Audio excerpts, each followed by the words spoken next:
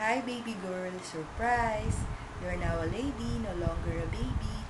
Di man natuloy yung bonggang-bonggang plano natin na gagawin kitang mukhang prinsesa sa araw ng debut mo, I'm sure naman na mag enjoy ka sa surprise party na inihanda nila para sa'yo. Surprise ka ba? Ang sweet nila, no? Even if we're not there to celebrate this momentous occasion with you, you're still in our hearts and in our minds, and it's never too late, baby. Pwedeng pwede ka pa rin magpadala ng handa dito. Now that you're in college, I wish that you would study harder to maintain your good grades, and I wish that you could finally make up your mind on what course to take up in the next four years. So I hope to see you all this year because we terribly miss you.